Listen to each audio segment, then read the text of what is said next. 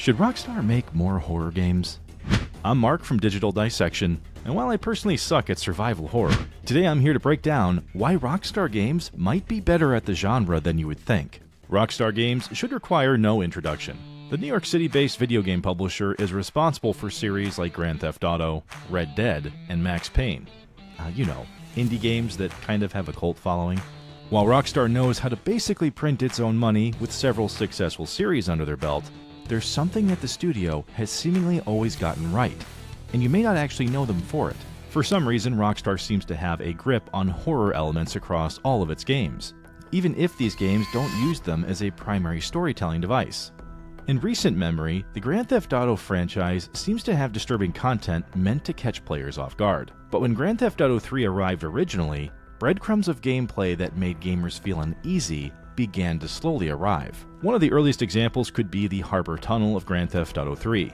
While exploring Liberty City, you can travel down a tunnel near 8 Ball's shop for a story mission. And within it, you'll find homeless men standing around each other holding Molotov cocktails. In 2001, the site was, well, at minimum, a bit strange, but it opened up dialogue about larger conversations within the GTA universe. Basically, sometimes there are things that occur that just don't make sense. And of course, cause us to ask questions feel creeped out, and start looking for answers. In this case, it didn't really lead anywhere, as there isn't a larger narrative for this area to fit into. It's just an odd spot early in the franchise's history. Concepts like this, though, would expand and further creep out gamers, as GTA 3's spin off, Vice City, would feature a very violent reference to Apartment 3C, the location of a specific chainsaw sequence in the movie Scarface. The movie would go on to influence quite a bit about the game's premise. It was still quite unnerving, though, to discover how if you had no knowledge of the film, it's jarring at minimum if you're casually exploring. And no, we won't be showing you the clip from the movie here. However, these small pieces of Grand Theft Auto's 3D history serve as footnotes on the way to much bigger possibilities. Creepy references would continue in San Andreas, as the back of Beyond Woods served as a very unnerving location, featuring ghost cars that would appear in this setting, and even though it was an oversight design glitch that allowed them to show up, this area became an unfounded setting for rumors and Bigfoot myths, even though they would end up being false. What was even darker, however, was El Castillo del Diablo, an area located between Area 69 and Las Brujas, a ghost town that could have possibly been used to perform government experiments. Seriously, there's a mass grave. Don't go to El Castillo del Diablo.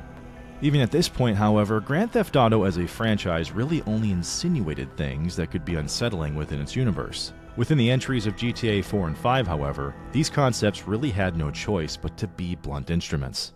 GTA 4 definitely made sure that several of its locations could creep out gamers, as a redesign of GTA 3's setting meant that they could adjust some of the areas explored in the 2001 title. And this took form in the area of the abandoned Sprunk factory, the Colony Island Hospital, and the literal house at the center of the Amityville horror.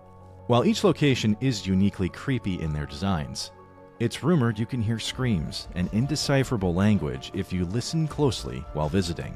GTA 4 and 5 also bring about references to serial killers, and while 4 features an NPC named Edward Low, who is suspected in many murders, GTA 5 introduces the Infinity Killer, named Merle Abrahams, who leaves behind a series of clues explaining all of his misdeeds a side quest that's twisted just as much as it is interesting. One of GTA 5's most horrific moments, however, is that of Mount Gordo, and a side quest involving Jolene Cranley Evans, deceased wife of politician Jock Cranley. She appears at night during the game and references her crumbling relationship with Jock, who pushes her to her death from the peak of Mount Gordo. And for many, this was a mystery that was jarring, as initially after the game's premiere, there wasn't much indicating she'd even appear there. As more became known about Jolene's demise, however, sounds were observed in the area of a woman screaming and fighting for her life. Regardless, these accents within the larger scope of Grand Theft Auto showed that it could be more than just high stakes open world crime thriller. But Rockstar has been capable of far more, and has proved it in much more impressive ways. Now, at this point, we'd like to say that if you are enjoying this exploration of horror in Rockstar produced games, consider subscribing and clicking the bell to be notified of new videos on this channel, where we offer weekly pop culture content and are always dissecting something. Now, let's get back to it. Now, as we mentioned just a few moments ago, there's clearly many disturbing elements of Rockstar Games projects, and many have been found across the world of Grand Theft Auto.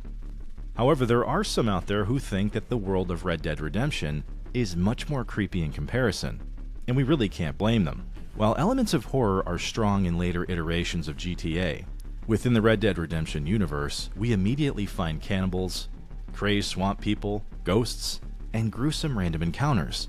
To make things worse, the ambient music of Red Dead Redemption's first outing is enough to make anyone's neck hair stand up. But throughout much of the game, you're also often on your own, and experiencing some of these jarring events without anyone else around can be horrific, as Red Dead Redemption has its own share of serial killers just like GTA, but you actually experience their crimes firsthand. While Red Dead Redemption 2 revisited many similar elements like ghosts and hyper-violent humans, Red Dead Redemption 1 brought us the Undead Nightmare DLC, which was a non-canon exploration of a zombie outbreak within its universe. What it does exceptionally well, however, is provide a blueprint for why Rockstar should be creating more horror games, as it places players into a truly hopeless backdrop, full of undead attackers, and in a setting that feels built for a survival horror experience to thrive. This is the American West after all, not a futuristic setting packed full of weapons, armor, and unique ways to fight back. This is an imperfect time with limited resources, and navigating its hordes of undead is nerve wracking, unbalanced at times in terms of confidence, and a story that frankly could have been perfect to explore on its own outside the framework of being a Red Dead add on. It's really a perfect combination of aesthetics, as the fantastic musical score of the main game is warped to match the setting. Its moon is turned into a sickly green color, and trying to cleanse the world of zombies outside of the modern era carries a thick air of feeling exasperated at every turn. As brilliant as the Red Dead universe is at capturing horror elements, however, there's one big reason why gamers are clamoring for Rockstar to take more chances trying to capture the survival horror market. And it has nothing to do with the highly successful franchises they've become known for. Instead, it's about Manhunt, a series first cultivated by Rockstar in the mid 90s that had two titles in 2003 and 2007. Manhunt is a game not known by many, but one that heavily relies on stealth and quickly became known for its dark tones and hyper violent execution system. It faced tremendous scrutiny by the video game industry, world politicians, and the ESRB rating system that wanted Manhunt 2 to be registered under an adult only rating. Manhunt's first game, however, became known quickly for its unique storyline which tasked a death row inmate with taking out people known as hunters, as he's being instructed to act as a hitman of sorts for a mysterious adversary called the Director, who promises him his freedom should he succeed. The controversial series featured a rating system based on the entertainment value of the player's decisions, and they could potentially earn up to 5 stars per area of the game, as it slowly disclosed that the main character is actually providing content for a snuff film. It's not exactly wholesome, but what many may not even know about the game is that it inspired widespread debate amongst the industry. It forced retailers to consider the consequences of such violence in games, and the impact it could have on younger gamers in particular. Social commentary aside, however, it still pales in comparison to some of the violence now experienced in video games. What it still receives praise for even now, however, is that Rockstar had a pivotal understanding of horror in video games. And while this series doesn't involve zombies or the supernatural, it was the decision making of the player character that is really what makes it so disturbing, and their success is literally based on it. This is but a taste of why the game is banned in many areas around the world, and why we'll likely never get a remaster of it anytime soon.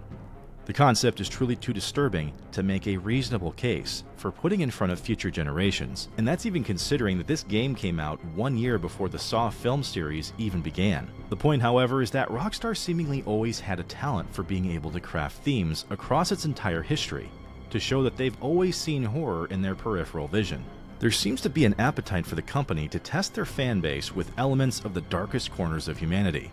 And in an era where open world zombie games are critically popular, like Days Gone and Dying Light as examples, Rockstar could further etch out yet another reputation for itself, even when they've proven just how much money Grand Theft Auto and Red Dead can generate.